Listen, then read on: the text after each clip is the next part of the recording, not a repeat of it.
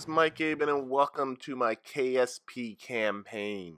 You know, when I make these videos, all I do is play Kerbal Space Program the way I normally do, and then as after I've done a few missions, I sort of look at them and see if there's a, a kind of common theme that emerges, something that sort of can link them all together that I can talk about. And this one, with the few missions that are coming up here, the common theme that came up was orbital maneuvering. Now, I've been, I've been doing lots of orbital maneuvering. You can't play Kerbal Space Program without going into orbital maneuvering.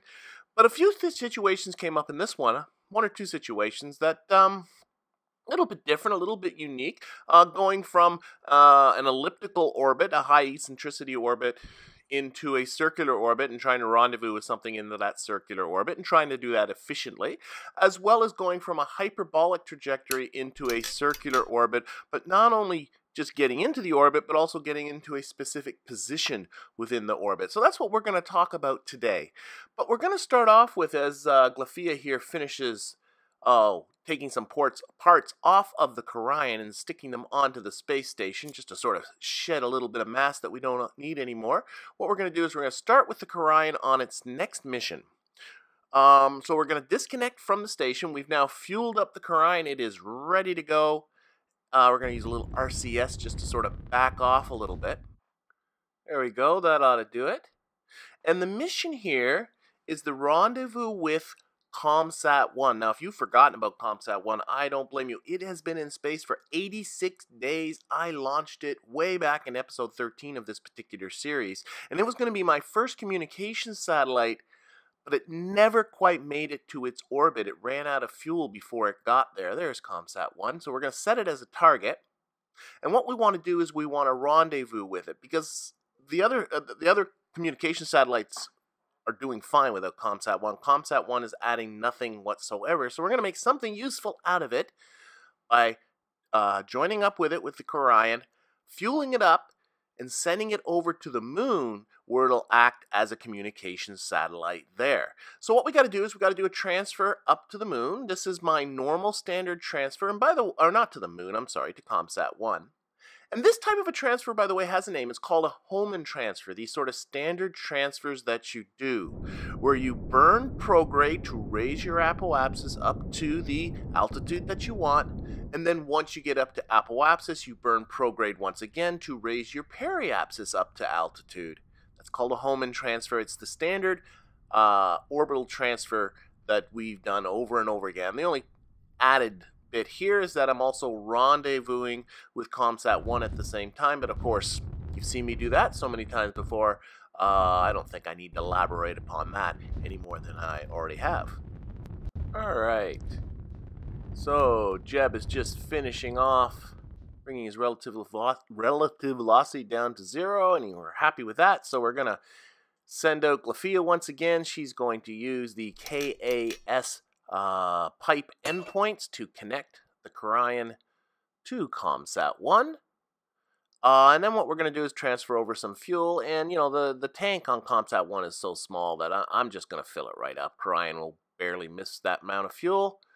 And uh, once it's filled up, it's time to send each of these vessels back their separate ways. Starting off with the Karayan, which is going to burn retrograde to lower its periapsis down into Kerbin's atmosphere. I'm once again using the trajectories mod to predict the path that's going to happen after the aerobraking maneuver. And once again, I'm keeping my uh, predicted G forces uh, no more than 0.2 of a G. I could probably push it a little bit harder than that, but I've done several air braking passes now with 0.2 of a G and everything's gone fine. I don't see any reason to push it. And then it was ComSat 1's turn. And as already mentioned, ComSat 1 is on its way out to the moon, but it's doing a little bit more than just simply going to the moon.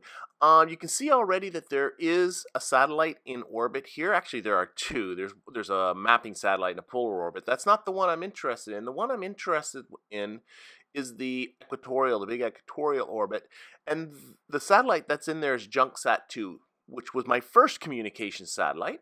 And now I want ComSat one to join in on that and be in the same orbit, but it's got to do more than just be in the same orbit. Eventually, I want three satellites equally spaced in this orbit to to give complete coverage to the moon. That means each of those satellites are going to be 120 degrees apart from each other because if you take the complete circle of 360 and divide it by 3, that's what you get 120 degrees.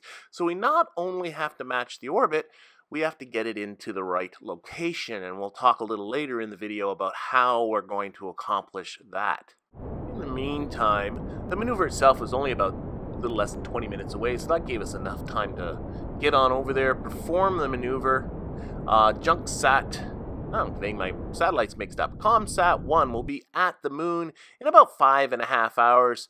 So uh, before we can deal with that, though, I think what we best do is get ourselves over the crime before it ends up doing its atmospheric plunge.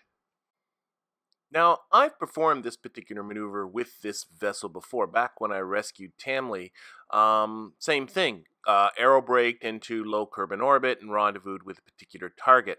But uh, that time, I was a little less than ideally efficient, I think, in my opinion. It, it cost me about 300 meters per second to perform that maneuver, and I'm pretty convinced I can do it more efficiently than that. I thought I did it rather sloppily, and there's a there's a couple of things that I can do differently to make this maneuver more efficient. The first is to get my apoapsis down lower. Uh, last time I think I got my apoapsis is at around 370, 380 kilometers. I need to get it lower than that. The lower, uh, closer I can get my apoapsis towards my target orbit, that's burning I don't have to do. That. I want to do as much as I can aerobraking because that doesn't cost me any fuel. And I even uh, was a little bit more aggressive in tilting the vessel up in the upper part of the atmosphere. I mean, at the very least, this is causing uh, greater drag, which will lower my apoapsis even further. But if uh, Kerbal Space Program models body lift, what this is also doing is creating a downforce, an aerodynamic downforce on the vessel, which will also uh, lower my apoapsis even further. And, and after this aerobraking pass, I got my apoapsis down to in around 250 kilometers. I didn't think that was bad. I could have done another aerobraking pass, got it down a little bit lower, but I get a little bit nervous because if I get my apoapsis, if I screw up and my apoapsis enters into the atmosphere, then this vessel is in an honest to goodness descent and it's going down to the surface unless I can pull it out of the atmosphere again. And I'm in a lot of trouble because this vessel is not design, designed to land, uh, and uh, that would get pretty scary. So I think 250 kilometers is good enough.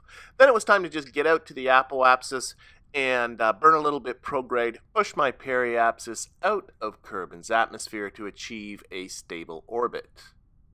There we go, that's got it. So what I want to draw attention to before I actually get into the maneuver is Taking a look at the Delta V up there at the top, this vessel now has 792 meters per second of Delta V. And remember what I want to do is I want to rendezvous with the space station and burn less, hopefully significantly less than 300 meters per second.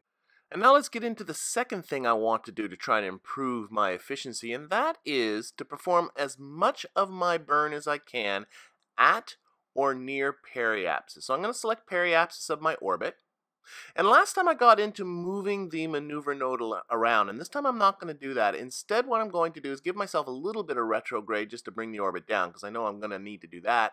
And then I'm going to play with the plus orbit buttons that are built into Precise Node and move ahead some orbits until I can get my rendezvous indicators close to each other. And uh, after that, I can do a little bit of tweaking with the burn perhaps move it a little bit forward or a little bit backwards, but I don't want to get too far away from periapsis. And after just a little bit of playing around, I ended up with this 67 meter per second burn, which is going to occur about four and a half hours from now.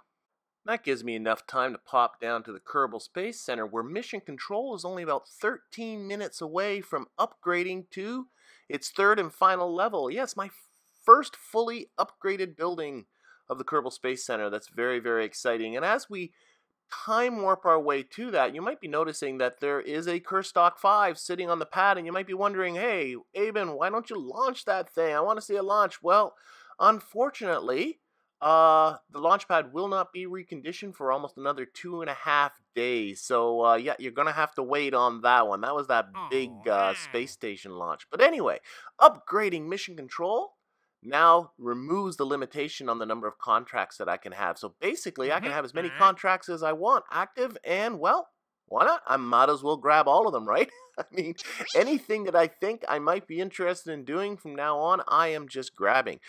At the very least, it's going to be, uh, I'm going to be getting those advances, and that's going to improve my cash flow quite considerably. Yes, upgrading mission control Pretty useful thing to do. Anyway, back here at the Karayan, we got Lafia out here at, on EVA, as you can see. And uh, before I go and explain why she's out here on EVA, I want you to sort of take a look at her here. She comes by. Yeah, you might be noticing she looks a little different. A little bit more detailed. I was getting tired of uh, the female textures that I had downloaded. I downloaded them um, and installed them very early on when uh, after 1.0 after Kerbal went full release, and uh, I say, oh man, they're all starting to look the same. So I wanted to get some better textures for the girls here, and I found this diverse Kerbal glasses texture. It looks really good. Yeah, you know, because I was honestly starting to have difficulty telling some of my female Kerbals apart. So this gives them a little bit more variety, I think. Anyway, um, as I was saying, she's out here on EVA, and the reason is is because well, Science Alert has been stopping me while I'm time warping around in low Kerbin orbit, telling me I have an EVA to do, and I've finally had enough, and I'm gonna grab that EVA, and here it is. It's Tundra. There we go. All right, Science Alert. You happy now? Stop bugging me and let me get back to work. After that, it was just a quick time warp to our rendezvous burn. And as we're performing this burn, I want you to take note of the little waypoint icon that's over there to above and to the left of the Karayan. That there is our space station, only about 50 kilometers away. Not that we are burning in that direction. In fact, we are burning in a direction that's pretty much perpendicular to where the space station is. But burning directly towards the space station, that would be the wrong thing to do. Yes, Welcome to the wonderful world of orbital dynamics. And it's really, really interesting because as we time warp around to where our rendezvous is going to be, you can see that we are getting further and further away from the space station. Uh, 80 kilometers away, 90, 100 kilometers, and then the waypoint disappears, but we can still follow the distance down here thanks to Kerbal Engineer. That was 115 kilometers away, but it's going to be short lived. And there we are. We're already starting to come back down. We're getting closer to it now. Now it's 100 kilometers, and the waypoint pops back in. And of course, after this, it's not too much longer until we're coming in for our rendezvous. And of course, we're going to dock with the space station here. And you saw me do a docking last episode, so just to do something a little different, I thought this episode I'm going to do the entire docking from IVA mode. And of course, RasterPropMonitor is going to help us tremendously here, and you can see that it is integrated very well with the docking alignment indicator. Okay, so we'll just have to do some time warping and some editing. We're still, wait a minute. That number's not changing. What's Kerbal Engineer say? Oh shoot, my distance is increasing. Oh, I'm burning in the wrong direction. Oh my lord. Well, for trying to give a lesson on how to do things efficiently. I certainly am not doing that, so let's spin this beastie around. and the docking alignment indicator seems to be frozen. I don't know why, but I'll have to deal with that later. Right now, let's at least get ourselves going in the right direction.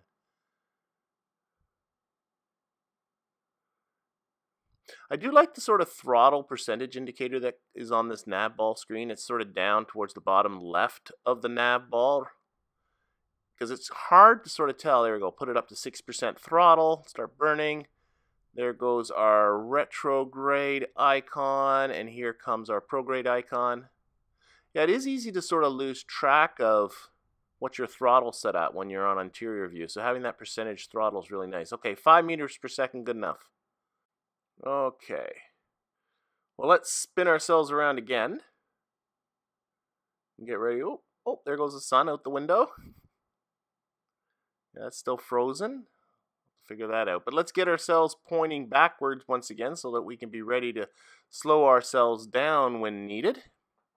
I'm noticing here that the reference for the docking alignment indicator says soy green, which is the capsule that I'm in. Should be the docking port. I wonder if that's part of the issue. Well, unfortunately to change that, I can't do that from out here.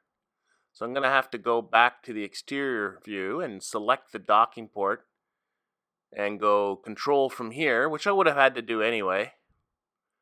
Nope, nope, the docking alignments indicator is still messed up. Well, I guess I'll just open up the regular docking port indicator window and, oh, well that just unlocked it. Okay, we don't need, now it's frozen again. Okay, so I guess I have to have this open. Well, I do see a settings button there on the docking alignment window.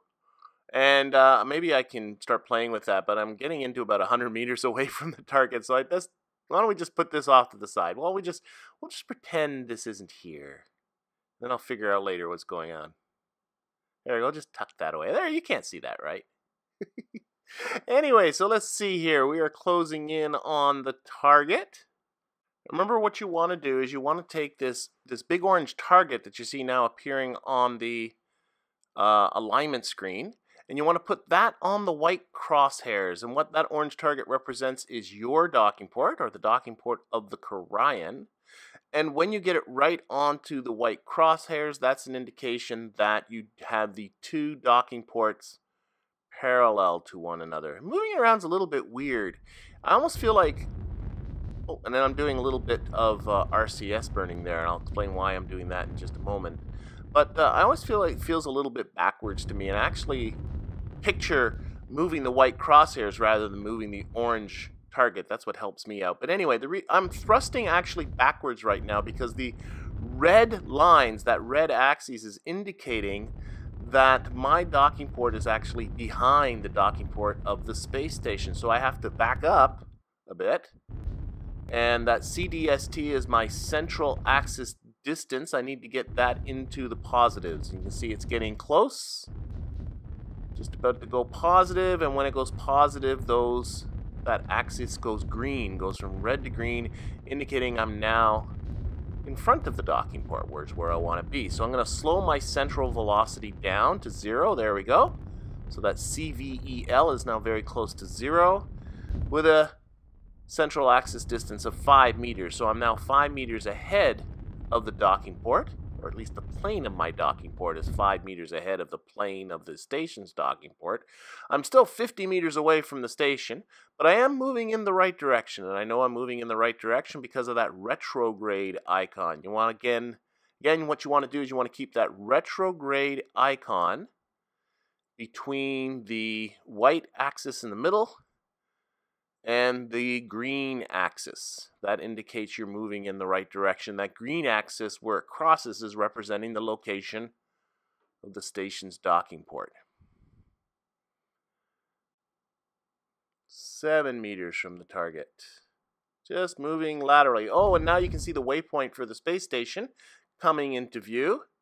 I'm going to assume that's going to settle itself out somewhere in the middle, probably right in the middle of that nav ball where it's going to end up seeing. But we don't have to look at that. We can just look at the screen here on the bottom, getting closer, 6 meters. and start thrusting myself forward now a little bit, increasing that central velocity. 0.03 meters per second. I can go a little bit faster than that towards the docking port. Got to start closing that distance, that central axis distance. All right. And you can see now the central axis distance and the actual distance distance are almost the same. And that's because I'm almost perfectly lined up. I thrusted forward just a little bit more, now approaching the docking port at 0.13 meters per second. A blistering pace. And of course, once we get in around the last meter or so, magnetic forces between the two docking ports are going to uh, take over and finish the job for us without us having to do too much. There we go. We are now pretty much all lined up. Just have to keep that all together now and keep moving my way forward. Three and a half meters to go between the docking ports. Three meters. And actually, as we close in here, I want you to take a look up at the Delta V up there at the top. Because remember, I was trying to do this efficiently, and right now my delta V is at 597 meters per second left in this particular vehicle.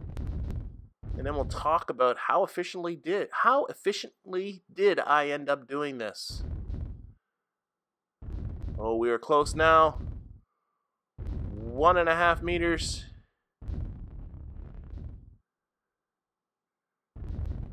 Oh, those those should be finishing it off for us soon. One meter away. 0 0.8, 0 0.7, 0.6. Come on, 0.5. Oh, there it goes. And we're docked. There we go. All right, and as I uh, turn off the torque on the reaction wheels in the Karion, remember that I had 597 meters per second in the Karion just before we docked. Uh, don't look at what the delta V is now. It's all messed up because we're docked with the station. And uh, before I started this whole process, I had 792 meters per second. That means that this rendezvous cost me 195 meters per second. Last time it cost me about 300 meters per second. So I saved about 100 meters per second. That's not so bad. Um, especially considering the fact that part of that time I was going in the wrong direction. So I probably could have saved myself even a little bit more. So I'm pretty pleased with that.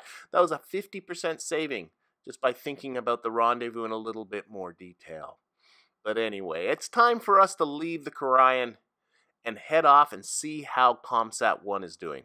So here we have ComSat 1 already in the sphere of influence of the moon. And the idea here is to get into this orbit that we are now targeting in yellow, the, our, the same orbit that JunkSat 2 is in, but to be 120 degrees away from JunkSat 2. And notice that as we come in here, we're going to be behind JunkSat 2.